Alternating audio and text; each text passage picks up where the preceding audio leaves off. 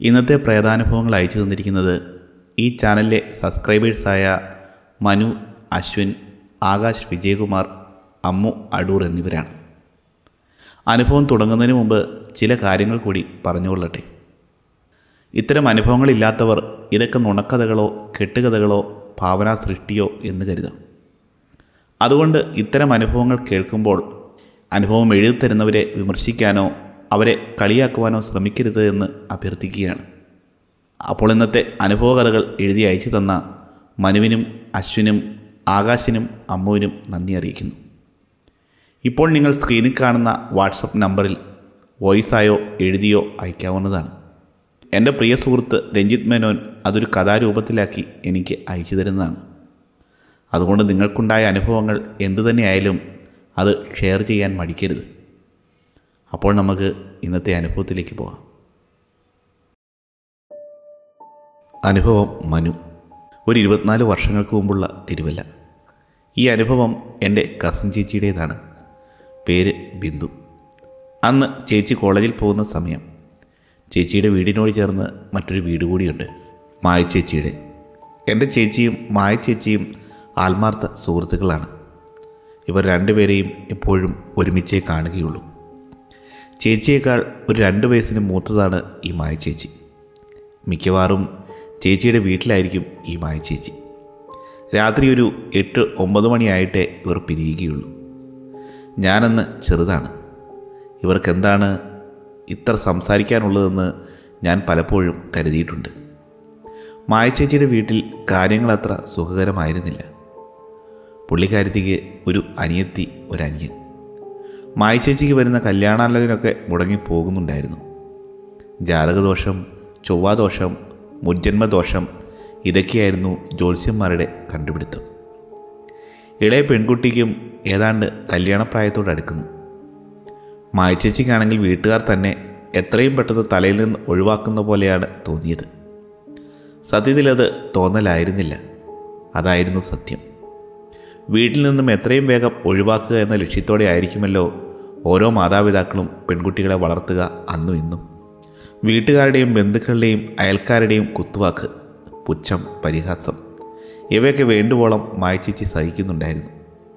ഒരു ദിവസം എന്റെ ചേച്ചി കോളേജിൽ നിന്നും വീട്ടിലേക്ക് വരുന്ന വഴി മായച്ചേച്ചിയുടെ വീട്ടിലേക്ക് കയറി. റൂമിൽ മായ ചേച്ചി തലയണയിൽ മുഖം പൊഴുത്തി കരയുന്നതാണ് കണ്ടത്.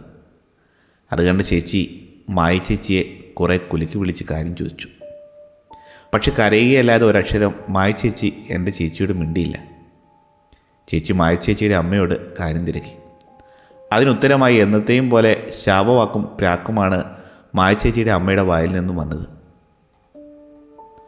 കോളേജിൽ നിന്ന് വന്നതിന്റെ ക്ഷീണം പിന്നെ വിശപ്പ് ഇത് രണ്ടും കൂടി ആയപ്പോൾ ഞാൻ ഇപ്പോൾ വരാൻ വിഷമിക്കല്ലേ? ഞാനില്ലേ? ഒന്ന് കുളിച്ചു മാറിയിട്ട് ഇപ്പോൾ വരാം എന്ന് പറഞ്ഞു. ബിന്ദു ചേച്ചി കരയുന്ന മായ ചേച്ചി സമാധാനിപ്പിച്ച് വീട്ടിലേക്ക് നടന്നു. രണ്ട് വീടും തമ്മിൽ ഒരു വേലിയുടെ ദൂരം അത്രയേ ഉള്ളൂ.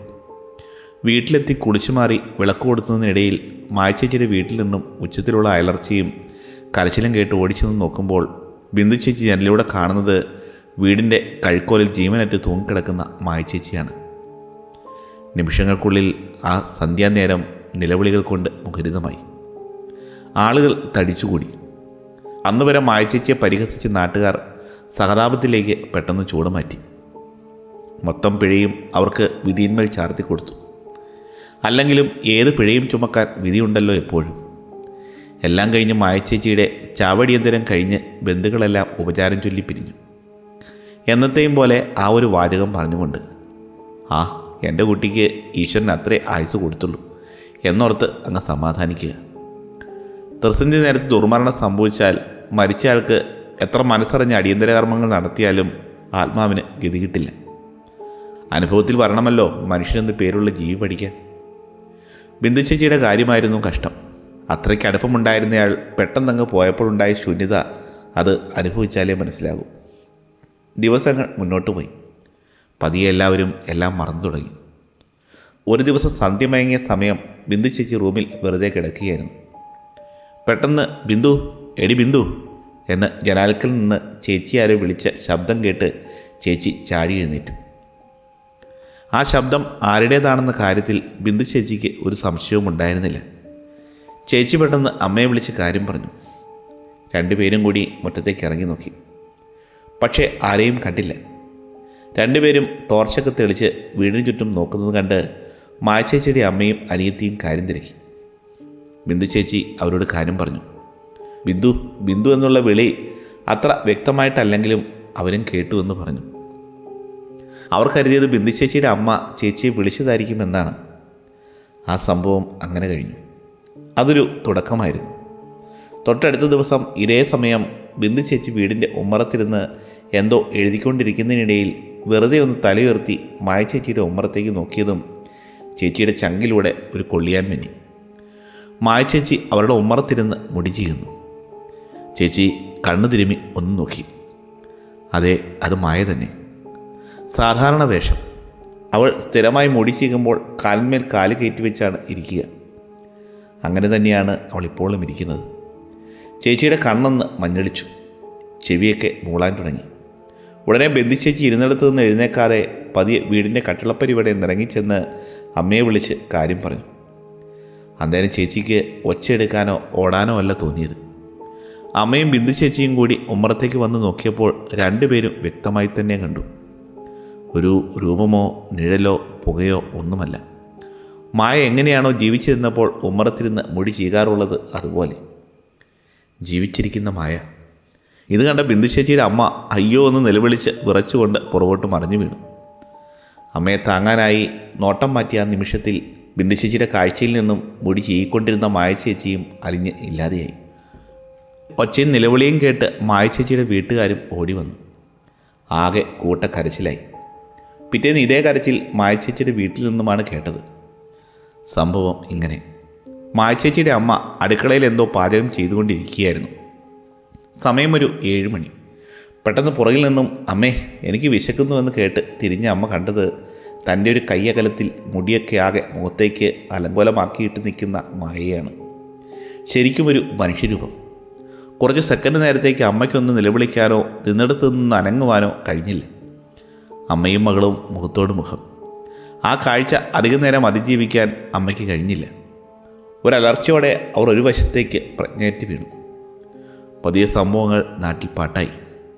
കേട്ടവർ പല കഥകളും മെനഞ്ഞു തുടങ്ങി. മാച്ചേച്ചിയെ പലരും കാണാൻ തുടങ്ങി. പക്ഷെ ആർക്കും ഒരു ഉപദ്രവവും ഉണ്ടായില്ല. എന്നാൽ കണ്ടവർക്ക് അത് വല്ലാത്തൊരു കാഴ്ചയായിരുന്നു. ബിന്ദു ചേച്ചിക്ക് ആ ഒരു സംഭവത്തിന് ശേഷം സന്ധ്യ പുറത്തേക്കിറങ്ങാൻ പുറത്തേക്ക് പേടിയായിരുന്നു. അത് മായശേച്ചിയോടുള്ള പേടിയല്ല. ഒരുവിധം പഴയ കാര്യങ്ങൾ ഓർമ്മയിലേക്ക് ഒതുക്കി വരുമ്പോഴാണ് വീണ്ടും കൺമുന്നിൽ മായച്ചേച്ചി അത് ബിന്ദു ചേച്ചിക്ക് താങ്ങാവുന്നതിലും അപ്പുറമായിരുന്നു. ആദ്യമൊക്കെ സന്ധ്യയ്ക്കാണ് കണ്ടിരുന്നെങ്കിൽ പിന്നീട് പകൽ സമയത്തും കാണാൻ തുടങ്ങി. മായച്ചേച്ചിയുടെ വീടിന് കുറച്ച് മാറി ഒരു പഞ്ചായത്ത് കിണറാണ്. കിണറിൽ നിന്നും ഉച്ച കഴിഞ്ഞ് വെള്ളമെടുക്കാൻ അയൽപ്പക്കത്തുള്ളൊരു ചേച്ചി വരികയായിരുന്നു. കുറച്ച് ദൂരെ നിന്നേ അവർ ഒരു പെൺകുട്ടി കിണറ്റിന്റെ കരയിൽ ചുറ്റുമതിൽ ചാരി നിൽക്കുന്നത് കാണുന്നുണ്ട്. മുടിയൊക്കെ ആകെ അലങ്കോലമായിട്ടാണ് കിടക്കുന്നത്. കുറച്ച് അടുത്തെത്തിയപ്പോഴേ അവർ കണ്ടു. ആദ്യം അവർക്ക് അതിൽ വലിയ കാര്യമായി ഒന്നും തോന്നിയില്ല. എങ്ങനെയാണോ നമുക്ക് ഒരു സാധാരണ കാഴ്ച അനുഭവവേദ്യമാകുന്നത് പൂർണമായും അതുപോലെ. അയൽപ്പക്കത്തെ ഏതെങ്കിലും പെമ്പിള്ളാരായിരിക്കുമെന്ന് അവർ കരുതി. കിണറ്റിൻകരയിലെത്തി തൊട്ടിയെടുത്ത് വെള്ളത്തിലേക്ക് ഇടുന്നതിനോടൊപ്പം എന്താ മോളെ ചോദിച്ചു. ഇത് ചോദിച്ചതും അവർക്ക് പുറംതിരിഞ്ഞു നിന്ന പെൺകുട്ടി അവരുടെ നേരെ തിരിഞ്ഞു. ഒറ്റ നോട്ടം. ഒരലർച്ചയോടെ ആ സ്ത്രീ തൊട്ടിയിൽ നിന്നുള്ള പിടുത്തം വിട്ട് പുറകോട്ട് മറിഞ്ഞു വീണു. ഇതോടെ മായച്ചേച്ചിയുടെ വീട്ടുകാർ ഒരു ജോത്സ്യനെ കണ്ട് കാര്യങ്ങൾക്കൊരു നീക്കുപോക്കുണ്ടാക്കിയേ മതിയാകൂ എന്ന തീരുമാനത്തിലെത്തി. കണ്ടവരൊക്കെ മായയെപ്പോലെ എന്നല്ല പറഞ്ഞത് മായ തന്നെയാണെന്ന് എല്ലാവരും തർപ്പിച്ചു പറഞ്ഞു. മറ്റുള്ള സംഭവങ്ങൾ പോലെ നിഴലോ പുകയോ ഒന്നുമല്ല. സാക്ഷാൽ മായ തന്നെയാണെന്നായിരുന്നു അവരുടെ നേർസാക്ഷി.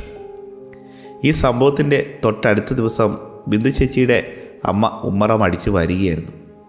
കുനിഞ്ഞു നിന്ന് അടിച്ചു വരുന്നതിനിടയ്ക്ക് ആരോ തന്റെ മുമ്പിലൂടെ നടന്നു പോയതുപോലെ തോന്നി. മുഖമുയർത്തി നോക്കിയപ്പോൾ തന്റെ കൺമുമ്പിലെ പെൺകുട്ടി അതിവേഗത്തിൽ കിടത്തിവക്കത്തുള്ള മാവിൻ ചൂട്ടിലേക്ക് ഒഴുകുകയാണോ അതോ പറക്കുകയാണോ എന്നറിയില്ല. എന്തായാലും നടക്കുകയല്ല. അത് അമ്മയ്ക്ക് ഉറപ്പാണ്.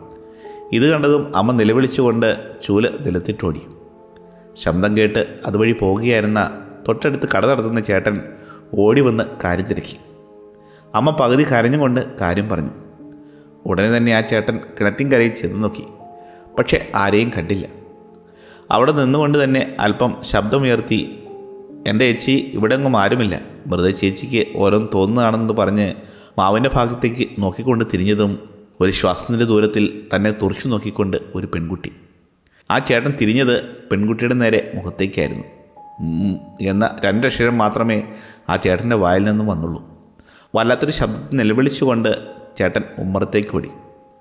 അമ്മ ഇതിന് ദൃസാക്ഷിയാണ് ഓടി രണ്ടുപേരും വീടിനകത്തേക്ക് കയറി. ഈ മായച്ചേച്ചിയെ കണ്ടു എന്ന് പറയുന്ന ആളുകളുടെ കാര്യം കഷ്ടമായിരുന്നു. ബിന്ദു ചേച്ചി ഒഴികെ. നല്ല രീതിയിൽ എല്ലാവർക്കും പേടി തട്ടിയിരുന്നു.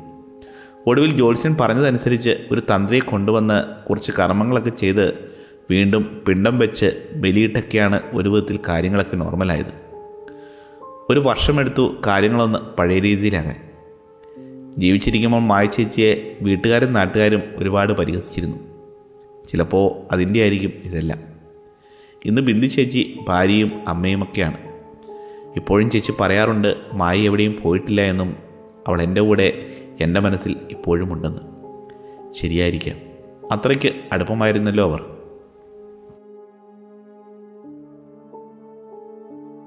അനുഭവം അശ്വിൻ. രണ്ടായിരത്തി നാലിലാണ് ഈ സംഭവം. ഇതെന്റെ ഇളയമ്മയ്ക്കുണ്ടായ ഒരു അനുഭവമാണ്. ഇളയമ്മയെ കല്യാണം കഴിച്ചയാൾ അതായത് എന്റെ ഇളയച്ചൻ ഒരു എറണാകുളത്തുകാരനായിരുന്നു. ഞങ്ങൾ കണ്ണൂരുകാരും. കല്യാണം കഴിഞ്ഞ് ഇളയമ്മ എറണാകുളത്തുകാരിയായി മാറി. ഇളയച്ചന്റെ ഒരു കൂട്ടുകുടുംബമായിരുന്നു. അതുകൊണ്ട് തന്നെ മുമ്പുണ്ടായിരുന്ന വലിയൊരു വസ്തു ഭാഗം വെച്ചപ്പോൾ ഇളയച്ചനും പെങ്ങന്മാരും കുടുംബമൊക്കെ വസ്തുവിൽ തന്നെ വീട് വെച്ചു. ഇളയച്ചന് മൂന്ന് പെങ്ങന്മാരാണ്. ഇവരുടെയൊക്കെ വീടുകൾ വളരെ അടുത്ത് തന്നെയാണ്. ഒന്ന് വിളിച്ചാൽ കേൾക്കാവുന്ന ദൂരം.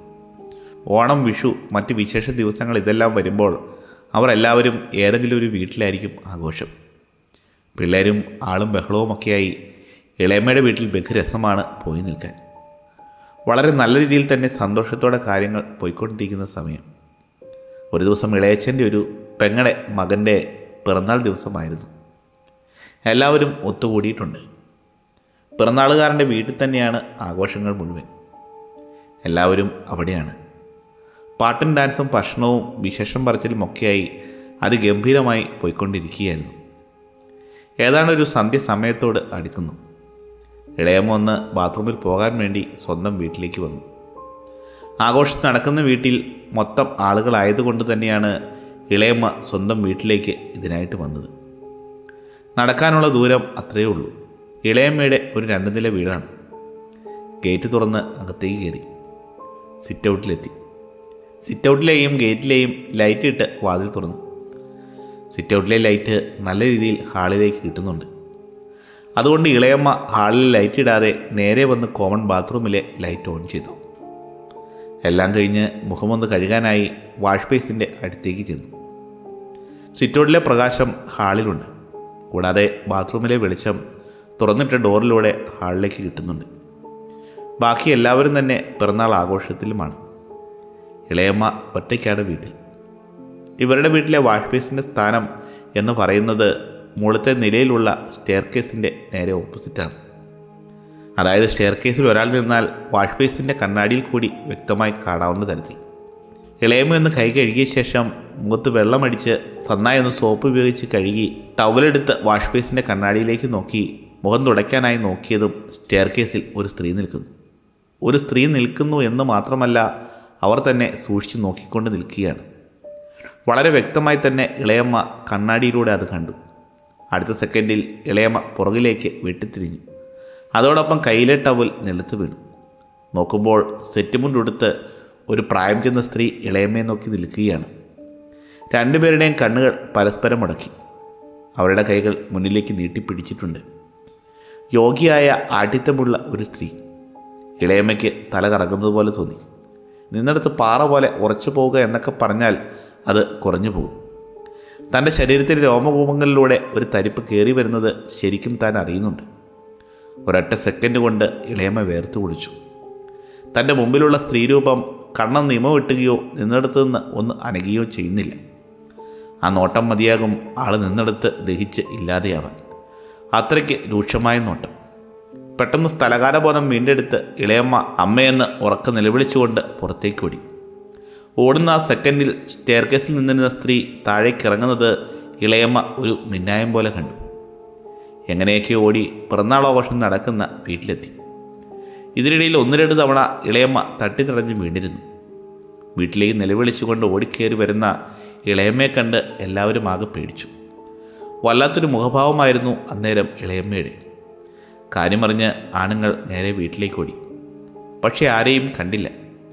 എന്നാൽ എന്തോ ഒരു വല്ലാത്ത ഗന്ധം വീടിനകം മുഴുവൻ ഉണ്ടായിരുന്നുവെന്നാണ് ആദ്യം ഓടിയെത്തിയവർ പറഞ്ഞത്. വീട് മൊത്തം അവർ തിരഞ്ഞു. പക്ഷേ ആരെയും കണ്ടില്ല.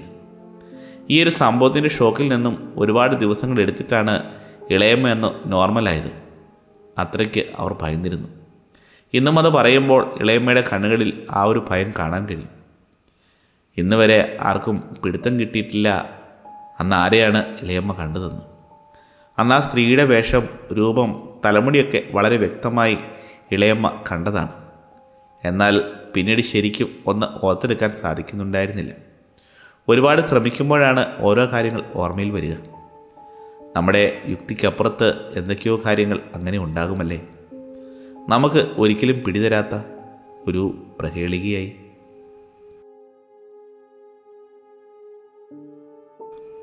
അനുഭവം ആകാശ് വിജയകുമാർ. എന്റെ സ്വദേശം എറണാകുളം ആലുവയാണ്. ഇതെനിക്ക് നേരിട്ടുണ്ടായ ഒരു അനുഭവമാണ്. കുറച്ച് വർഷങ്ങൾക്ക് മുമ്പാണ്. അത്ര വലിയ ഒരു അനുഭവമൊന്നുമല്ല. എന്നാലും അതൊന്ന് നിങ്ങളുമായി പങ്കുവെക്കണമെന്ന് തോന്നി. നമുക്ക് സംഭവത്തിലേക്ക് പോകാം. എന്റെ വീടിനടുത്ത് ഒരു വലിയ പാടശേഖരമുണ്ട്. ഏതാണ്ട് ഇരുന്നൂറോളം ഏക്കർ വരും. അതിൽ തന്നെ പല കൃഷിയുമുണ്ട്. കവുങ്ങ് നെല്ല് വാഴ അങ്ങനെ പലതും. പാടത്തിന്റെ ഒത്തു നടുവിൽ കൂടി ഒരു പുഴ ഒഴുകുന്നുണ്ട്. നട്ടുച്ചയ്ക്ക് പോലും നല്ല തണുത്ത ഒരു അന്തരീക്ഷമാണ് അവിടെ. ആളുകൾ പശുവിനെയൊക്കെ തീറ്റാനായി ഈ ഒരു ഏരിയയിൽ വരാറുണ്ട്. പക്ഷെ അതിന്റെ കൂടെ ചില കഥകളും ഈ പ്രദേശത്തെക്കുറിച്ച് പ്രചരിച്ചിരുന്നു. ഞങ്ങൾ അതൊന്നും കാര്യമാക്കാതെ സ്ഥിരം അവിടെ പോയി ഇരിക്കാറുണ്ട്.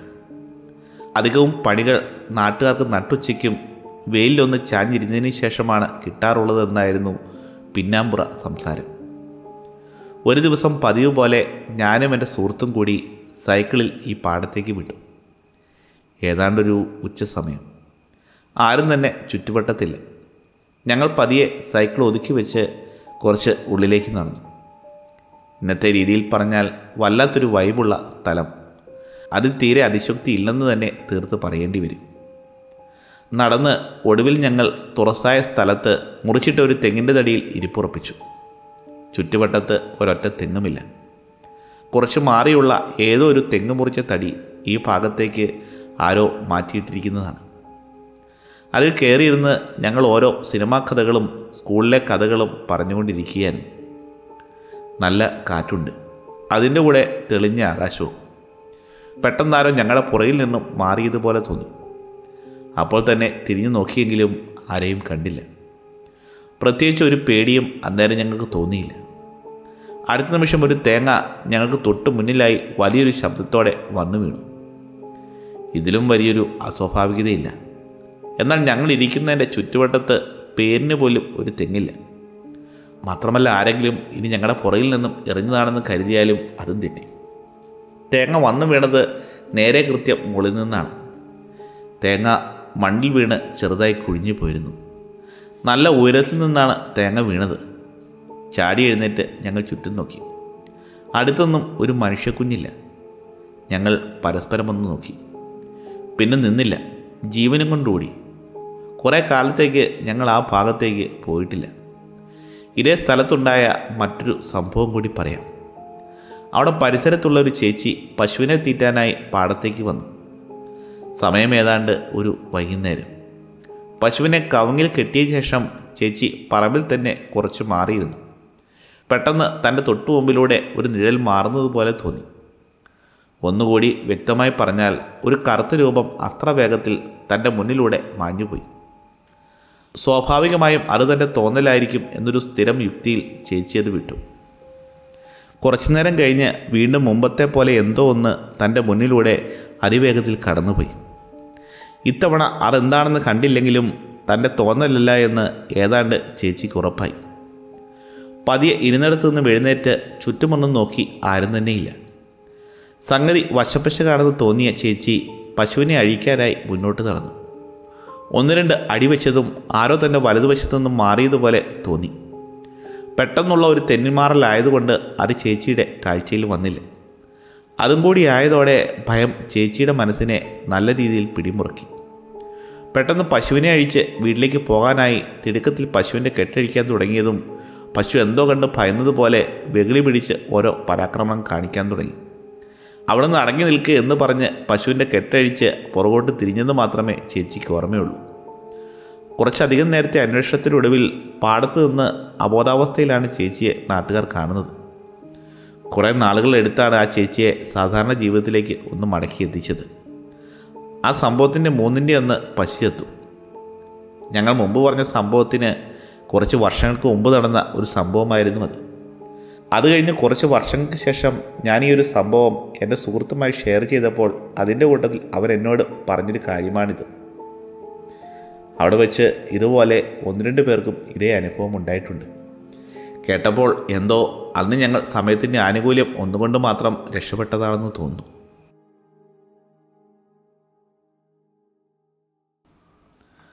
അനുഭവം അമ്മ അടൂർ. കുറച്ച് വർഷങ്ങൾക്ക് മുമ്പാണ് ഈ സംഭവം. എന്റെ ഒരു സുഹൃത്താണ് എന്നോട് ഈ സംഭവം പറയുന്നത്. അനുഭവത്തിന്റെ പേര് രമേശ്. നമുക്ക് ഈ സംഭവം രമേശന്റെ വാക്കുകളിലൂടെ തന്നെ കേൾക്കാം. ഞാൻ രമേശ്. ഗൾഫിൽ വർഷങ്ങളായി ജോലി ചെയ്തുകൊണ്ടിരിക്കുന്ന എന്നെ സ്വന്തമായൊരു വീടെന്ന സ്വപ്നം ചില്ലറയൊന്നുമല്ല ഊണിലും ഉറക്കത്തിലും ശല്യം ചെയ്തുകൊണ്ടിരുന്നത്. ഭാര്യ ഒരു മൂന്ന് മക്കൾ. ഇതാണ് എന്റെ കുടുംബം. ഒടുവിൽ ഒരു കണക്കിന് പൈസയൊക്കെ സുരുക്കൂട്ടി ഞാനൊരു പഴയ വീടും കുറച്ച് സ്ഥലവും വാങ്ങിച്ചു. ഗൾഫിലായിരുന്നതുകൊണ്ട് ഒരു ബ്രോക്കർ വഴിയാണ് അന്ന് കച്ചവടം നടന്നത്. അന്നത്തെ മാർക്കറ്റ് വിലയേക്കാൾ വളരെ കുറവിനാണ് ഞാനത് വാങ്ങിയത്. അതുകൊണ്ട് തന്നെ കൂടുതലൊന്നും ചിന്തിക്കാതെ ഞാൻ കൈ കൊടുത്തു. കാശും കൊടുത്തു. അങ്ങനെ വളരെ കാലത്തെ എന്റെ സ്വപ്നം പൂവണിഞ്ഞു.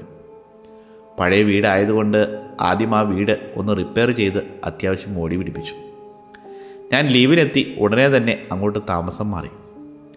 കുറച്ച് ദിവസത്തെ അവധിക്ക് ശേഷം ഞാൻ വീണ്ടും സ്വപ്നങ്ങൾക്ക് ചിറക് പിടിപ്പിക്കാൻ ഗൾഫിലേക്ക് വണ്ടി കയറി. സ്വപ്നങ്ങൾ എപ്പോഴും അങ്ങനെയാണല്ലോ. അത് ഒരേ സമയം ഉറക്കത്തിൽ വരികയും ഉറക്കം കെടുത്തുകയും ചെയ്യും. ജീവിതമൊക്കെ നല്ല രീതിയിൽ പോയിക്കൊണ്ടിരിക്കുന്ന സമയം. പക്ഷേ സുഗമമായ യാത്രയ്ക്ക് അധികം ആയുസ് ഉണ്ടായിരുന്നില്ല. ആദ്യം പ്രശ്നങ്ങൾ ഉടലെടുത്തത് എന്റെ ജോലിസ്ഥലത്തായിരുന്നു. എന്റെ ജോലി പോയി. ഗൾഫിൽ ജോലി കിട്ടാൻ ഒരുപാട് കാരണങ്ങളും കാര്യങ്ങളും വേണം. ജോലി പോകാൻ ഇതൊന്നും തന്നെ ആവശ്യമില്ല. ഞാൻ നാട്ടിലേക്ക് തിരിച്ചെത്തി. വീണ്ടും ഗൾഫിൽ ഒരു ജോലി എന്തായാലും ഉടനെ തന്നെ സാധ്യമാകുന്ന കാര്യമല്ല. അതുകൊണ്ട് തന്നെ നാട്ടിൽ എന്തെങ്കിലും ബിസിനസ് ചെയ്ത് തൽക്കാലം കൂടാമെന്ന പദ്ധതിയുമായി ഞാനും അതിന് താങ്ങായി കുടുംബവും മുന്നോട്ട് പോവുകയായിരുന്നു. ഭാഗ്യത്തിന് വീടിന്മേൽ ലോണൊന്നും തന്നെ ഇല്ലായിരുന്നു. അല്ലെങ്കിൽ ഞാൻ വീട്ടിൽ ഇരുന്ന് താരാപഥങ്ങൾ എണ്ണിയനെ. പക്ഷേ പ്രശ്നങ്ങൾ ഞാൻ ലക്ഷങ്ങൾ കുറേ കൊടുത്താണ് വാങ്ങിയതെന്ന് അന്നേരം ഞാൻ അറിഞ്ഞിരുന്നില്ല. കാര്യങ്ങളൊന്നും അങ്ങോട്ട് ശരിയാകുന്നില്ല. എത്രയൊക്കെ ശ്രമിച്ചിട്ടും. ഓരോരോ പ്രശ്നങ്ങൾ തടസ്സങ്ങൾ ഒന്ന് തീരുമ്പോൾ അടുത്തത്. ഒരു ദിവസം ഉറക്കത്തിൽ ഞാൻ നിലവിളിച്ചുകൊണ്ട് ചാടി എഴുന്നേറ്റു. എന്തു പറ്റിയെന്ന് ഭാര്യയുടെ ചോദ്യത്തിന് എനിക്ക് കുറച്ചു നേരത്തേക്ക് ഒരു മറുപടി പറയാൻ സാധിച്ചില്ല. ജീവിതത്തിൽ ഇന്ന് വരെ അങ്ങനൊരു ദുസ്വപ്നം ഞാൻ കണ്ടതായി ഓർക്കുന്നുമില്ല.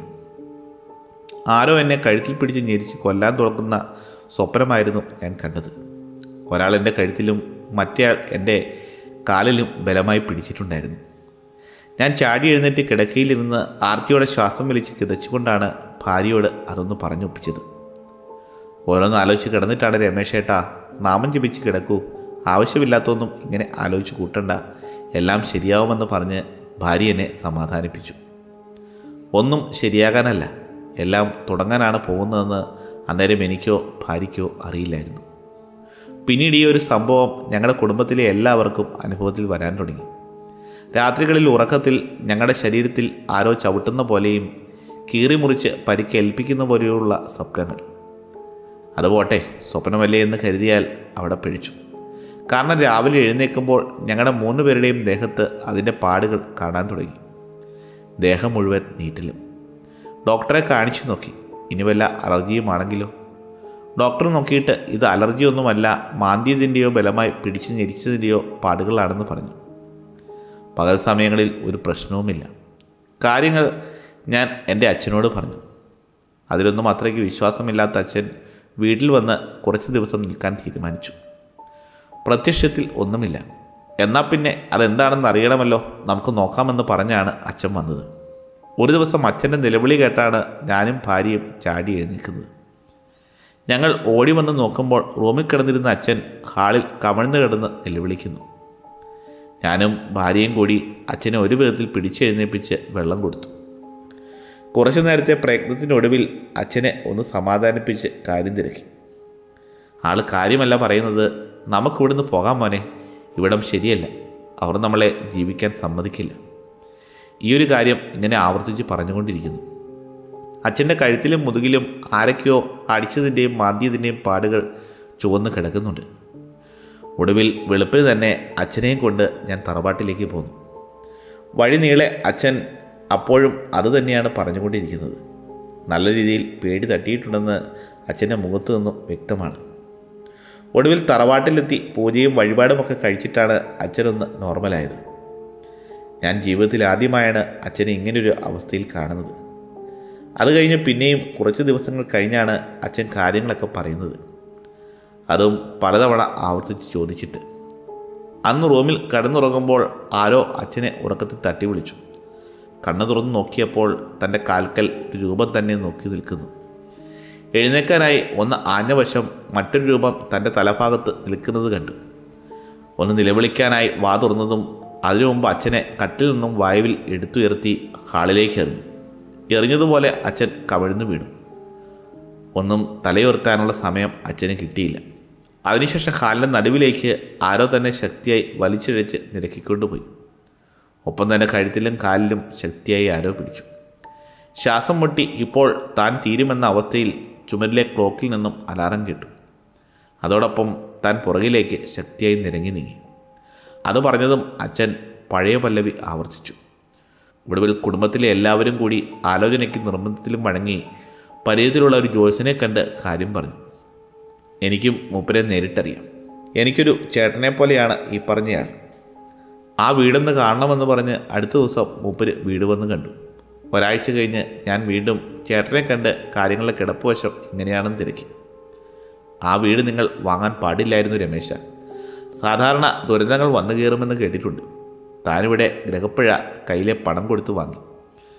വന്നു കയറിയ ദുരന്തങ്ങൾ നമ്മുടെ സമയം മാറുന്നതോടെ ഒഴിഞ്ഞു പോകും എന്നാൽ വിളിച്ചു കയറ്റിയത് അങ്ങനെ ഒഴിഞ്ഞു പോകില്ല. ഇത് കേട്ട ഞാൻ ഒന്നും മനസ്സിലാകാത്ത പോലെ പുള്ളിയുടെ മുഖത്തേക്ക് നോക്കി. എന്നിട്ട് കാര്യങ്ങളൊന്ന് തെളിച്ച് പറയാൻ പറഞ്ഞു. രമേശ അവിടെ ഒന്നല്ല രണ്ട് ദുരാത്മാക്കളുണ്ട്. മാത്രമല്ല അവർ കമിതാക്കളാണ്. ഈ കമിതാക്കളുടെ സ്വകാര്യതയിലാണ് താൻ തന്റെ കുടുംബത്തെയും കൊണ്ട് കയറി ചെന്നത്. ഇത് കേട്ട എനിക്കത് എന്തോ ആ പറഞ്ഞത് ദഹിച്ചില്ല. ഇത് ഇയാൾ ജ്യോത്സ്യന്മാരുടെ പഴയ പല്ലവിയാണല്ലോ വീണ്ടും ആവർത്തിക്കുന്നതെന്ന് മനസ്സിൽ പറഞ്ഞുകൊണ്ട് താങ്കൾക്ക് എങ്ങനെ മനസ്സിലായി എന്ന് ചോദിച്ചു. അതുകൊണ്ടാണല്ലോ രമേശ എന്നെ നാട്ടുകാർ ജോലിസിനെന്ന് വിളിക്കുന്നത്. പിന്നെ തന്നോട് ഞാനിപ്പോൾ പറഞ്ഞ കാര്യം അറിയാൻ കവടിപ്പലയുടെ ആവശ്യമില്ല. ചുറ്റുവട്ടത്ത് ഒന്ന് നിരീക്ഷിച്ചാൽ മതി. അതുകൊണ്ടാണ് ആ ഞാൻ ആ വീട് ഒന്ന് കാണണമെന്നും പിന്നീട് ഒരാഴ്ച കഴിഞ്ഞ് തമ്മിൽ കാണാമെന്നും പറഞ്ഞത്. ആ വീട്ടിൽ കാലെടുത്ത് വെച്ച നിമിഷം എനിക്ക് അവറ്റകളുടെ സാന്നിധ്യം അറിയാൻ കഴിഞ്ഞു. എന്നാൽ പിന്നെ അതൊന്ന് തീർച്ചപ്പെടുത്തണമല്ലോ എന്ന് കരുതിയാണ് ഞാൻ ചില ബന്ധങ്ങൾ വെച്ച് ഈ വീടിനെക്കുറിച്ച് ഒന്ന് അന്വേഷിച്ചത്. താനൊരു കാര്യം ചെയ്യൂ. ചുറ്റുവട്ടത്ത് ഒന്ന് അന്വേഷിച്ച് നോക്ക്. ആ ഭാഗത്തെ അയൽപ്പക്കക്കാർക്ക് അത്യാവശ്യം ഉപദ്രവം ഈ പറഞ്ഞ ആത്മാക്കൾ ഉണ്ടാക്കിയിട്ടുണ്ട്. ഇപ്പോഴും അത് തുടരുന്നുണ്ട്. നിങ്ങൾ താമസം തുടങ്ങിയതിന് ശേഷം അല്പമെങ്കിലും അയൽപ്പക്കക്കാരോട് അടുപ്പം കാണിച്ചിരുന്നുവെങ്കിൽ സഹതാപത്തിന്റെ പേരിലെങ്കിലും അവർ നിങ്ങൾക്ക് എന്തെങ്കിലും സൂചനകൾ തന്നേനെ. അതും ഉണ്ടായില്ല. അങ്ങനെയല്ല ചേട്ടാ. ഞങ്ങൾ ഇവിടേക്ക് താമസം മാറിയതിന് ശേഷം അയൽപ്പക്കത്തെ ആളുകളൊക്കെ എന്തോ ഒരു അകൽച്ച പോലെയാണ് ഞങ്ങളോട് പെരുമാറിക്കൊണ്ടിരുന്നത്. അതുകൊണ്ട് ഞങ്ങളും അങ്ങോട്ട് അടുപ്പം കാണിക്കാൻ പോയില്ല. ഈ ഒരു അഭിപ്രായത്തിൽ അവർ നിങ്ങളോട് അകൽച്ച കാണിച്ചതായിരിക്കാൻ വഴിയില്ല. നിങ്ങൾ എന്തിനാണ് ഈ ഒരു ഗൃഹപ്പിഴ എടുത്ത് വീട് വാങ്ങിയത് എന്നുള്ള ഞെട്ടലായിരിക്കും. പിന്നെ നിങ്ങളവിടെ താമസം തുടങ്ങിയപ്പോൾ അവർക്ക് ഇവറ്റകളെ കൊണ്ടുള്ള ശല്യം കുറഞ്ഞിട്ടുണ്ടാവും. ഇനി വെറുതെ നിങ്ങളുടെ പറമ്പിൽ കയറി നിങ്ങളോട് അടുപ്പം കാണിച്ച് വെറുതെ പണി വാങ്ങിക്കേണ്ട എന്ന് കരുതി കാണും ഇതിന് എന്താണ് പരിഹാരം? ആ വീട് വിറ്റ് ഒഴിഞ്ഞാലോ ചേട്ടാ? അത് ആലോചിക്കാവുന്നതാണ്. പക്ഷേ ഇനി തന്റെ പോലെ മേലും കീഴും നോക്കാത്ത ഒരാളെ കിട്ടണ്ടേ? അതിനൊക്കെ നല്ല സമയമെടുക്കില്ലേ? വേറെ എന്താണ് വഴി ചേട്ടാ? വഴിയുണ്ട്. പക്ഷെ നേർവഴി ആയതുകൊണ്ട് തന്നെ ചിലവും കൂടും അധ്വാനവും കൂടും. ചേട്ടൻ എന്താണ് ഉദ്ദേശിക്കുന്നത്? ഈ പറഞ്ഞ ആത്മാക്കളെ ആവാഹിച്ച് മറ്റൊരിടത്തേക്ക് കുടിയിരുത്തുക. മറ്റൊരിടം എന്ന് പറയുമ്പോൾ എവിടേക്ക്? അങ്ങനെ ഒരിടമെന്ന് പറഞ്ഞത് തനിക്ക് മനസ്സിലാക്കാനുള്ള എളുപ്പത്തിനാണല്ലോ ഒരാൾ മരിച്ചു കഴിഞ്ഞ് നമ്മൾ എന്തിനാണ് അയാൾക്ക് വേണ്ടി അസ്ഥി സഞ്ചയനവും പതിനാറ് അടിയന്തരവും പിന്നെ ബലിയും ഇടുന്നത്? ആ മരിച്ചയാളുടെ ആത്മാവിന്റെ മോക്ഷത്തിന് വേണ്ടി ജീവിച്ചിരിക്കുന്ന അയാളുടെ രക്തബന്ധമുള്ളവർ മനസ്സുകൊണ്ട് അയാളെ സ്മരിക്കുകയും സന്തോഷിക്കുകയും അറിഞ്ഞും അറിയാതെയോ അയാൾ ജീവിച്ചിരുന്നപ്പോൾ അയാളോട് ചെയ്ത തെറ്റുകൾക്ക് മാപ്പിരക്കുകയും അയാൾക്ക് നമ്മളോട് എന്തെങ്കിലും തെറ്റുകൾ ചെയ്തിട്ടുണ്ടെങ്കിൽ നമ്മൾ അയാൾക്ക് മനസ്സുകൊണ്ട് മാപ്പ് കൊടുക്കുകയും ചെയ്യുന്നു. ഇതാണ് അതിന്റെ ഒരു സങ്കല്പം. ഇവിടെ നമുക്ക് യഥാവിധി അത് തന്നെ ചെയ്യാമെന്ന് പറയുന്നു. എന്ത് വേണമെങ്കിലും ചെയ്യാൻ ചേട്ടാ. കയ്യിൽ ആകെ ഉണ്ടായിരുന്ന സമ്പാദ്യം കൊണ്ട് വാങ്ങിച്ച വീടാണ്. ഇപ്പോഴാണെങ്കിൽ ജോലിയും പോയി. ആകെ നട്ടം തിരിഞ്ഞ അവസ്ഥയാണ്. താനിപ്പോൾ നട്ടം തിരിഞ്ഞിട്ടില്ല രമേശ. അവർക്ക് എന്തോ ഒരു ദയ തന്നോടും കുടുംബത്തോടും തോന്നിയിട്ടുണ്ട്. അല്ലെങ്കിൽ തന്റെ സമയം നല്ലതാണ്. കാരണം താനടക്കം തന്റെ കുടുംബം ഇപ്പോഴും ജീവനോടെ ഉണ്ടല്ലോ. അപ്പോൾ നട്ടം തിരിഞ്ഞുവെന്ന് അടച്ചങ്ങോട്ട് പറയാനായിട്ടില്ല. എന്നാൽ നമുക്ക് അങ്ങനെ തന്നെ ചെയ്യാം. ഞാനൊന്ന് നോക്കിയിട്ട് അതേ കാണുന്നുള്ളൂ. ഒടുവിൽ ജോത്സ്യൻ പറഞ്ഞതുപോലെ ഒരു തന്ത്രിയെ കൊണ്ട് യഥാവിധി കാര്യങ്ങളൊക്കെ ചെയ്തു. എല്ലാം ഒരുവിധം ഭംഗിയായി തന്നെ തീർത്തു. അതിനുശേഷവും ഞങ്ങൾക്ക് അവിടെ താമസിക്കാൻ ഭയമായിരുന്നു. കുറേ നാളുകളെടുത്തു അതൊക്കെ ഒന്ന് മാറി സാധാരണ ജീവിതത്തിലേക്ക് മടങ്ങിയെത്താൻ. ഞങ്ങൾ ആ വീട് വാങ്ങുന്നതിന് മുമ്പ് അയൽപ്പക്കത്തുണ്ടായിരുന്നവർക്ക് നല്ല രീതിയിൽ ഓരോ ബുദ്ധിമുട്ടുകളുണ്ടായിരുന്നു. ഉണക്കാനിടുന്ന തുണികൾ ദൂരെ മാറി ആകെ അഴുക്കായി ആരോ ചവിട്ടിക്കൂട്ടുക പുറത്തു വെച്ചിരിക്കുന്ന പാത്രങ്ങളും മറ്റു വസ്തുക്കളും വലിയ ശബ്ദത്തോടെ എപ്പോഴും താഴേക്ക് വീഴുക ആരുടെയൊക്കെയോ അടക്കി പിടിച്ച് ചിരി കേൾക്കുക അങ്ങനെ പലതും. അവിടെ ഒരുപാട് വർഷങ്ങൾക്ക് മുമ്പ് കുറച്ചകലെ നിന്ന് പ്രണയിച്ച് ഒളിച്ചോടി കല്യാണം കഴിച്ച ദമ്പതികൾ താമസിച്ചിരുന്നു. പിന്നീട് എന്തൊക്കെയോ പ്രശ്നങ്ങൾ മൂലം അവർ ആത്മഹത്യ ചെയ്തു എന്നും അതല്ല കൊന്നതാണെന്നും അറിയാൻ കഴിഞ്ഞു. പണ്ട് ആ ഭാഗത്ത് താമസിച്ചിരുന്ന ഒട്ടുമിക്ക ആളുകളും വീട് മാറിപ്പോയിരുന്നു. ഇപ്പോൾ ചുറ്റുവട്ടത്ത് താമസിക്കുന്ന ആളുകൾക്ക് പറഞ്ഞു കേട്ട അറിവ് മാത്രമേ ഉള്ളൂ. ഇതൊക്കെ പിന്നീട് അറിഞ്ഞ കാര്യങ്ങളാണ്. അയൽപ്പക്കക്കാർക്ക് തങ്ങളുടെ പറമ്പിലേക്ക് ആദ്യമൊക്കെ കയറാൻ തന്നെ ഭയമായിരുന്നു. ആ വീട് വാങ്ങിച്ച് താമസിച്ച ഞങ്ങളെയും അവർ അങ്ങനെയാണ് കണ്ടുകൊണ്ടിരുന്നത്. കൂട്ടത്തിൽ ഞാനും ഭാര്യയും മക്കളും അല്പം അന്തർമുഖരും ആയിരുന്നു. അപ്പോൾ പിന്നെ ബാക്കി പറയണ്ടല്ലോ. ഇപ്പോൾ പ്രശ്നങ്ങളൊന്നുമില്ലാതെ മുന്നോട്ട് പോകുന്നു. ആ സംഭവത്തിന് ശേഷം എന്തോ ഞങ്ങൾക്ക് ആ വീടുമായുള്ള അടുപ്പം പോയി. അത് സ്വന്തം വീടല്ലെന്ന് ഒരു തോന്നൽ. ഒരുതൊന്നും നഷ്ടമല്ലാത്ത വില കിട്ടിയപ്പോൾ ഞാൻ ആ വീടും പുരയിടവും വിറ്റു. ഇപ്പോൾ നല്ല രീതിയിൽ ജീവിതം മുന്നോട്ട് പോയിക്കൊണ്ടിരിക്കുന്നു. ചെറിയ ചെറിയ സൗന്ദര്യ പിണക്കങ്ങളും പരിഭവങ്ങളും ഒക്കെയായി.